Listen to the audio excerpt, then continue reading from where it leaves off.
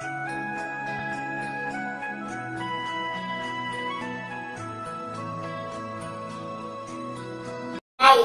tay, salamat sa lahat.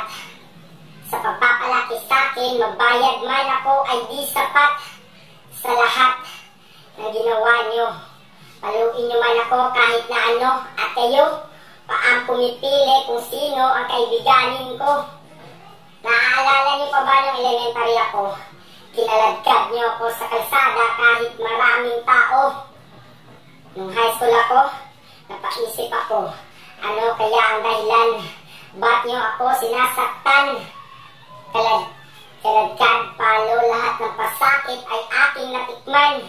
Dumaan ang mga taon, ngayon ko lang nauunawaan, ba't kayo ganon? Kaladkad, palo, hindi pala ibig sabihin ako nais niyo saktan. Ginawa nila pala yun para minimit, di ko'y aking makamtan.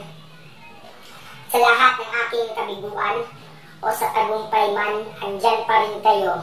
Lagi nakaabang sa akin para sumaklolo. At sa lahat ng tinuro nyo, asahan nyo ituturo ko rin sa anak ko. Dahil para sa akin kayo, ang pinakamagaling na magulang dito sa mundo. Pero sa lahat ng aking sinabi, gusto ko lang malaman nyo sa inyong katabi na hindi masukat kung gaano kalaki ang pagmamahal ko at pasasalamat ko sa mga magulang ko.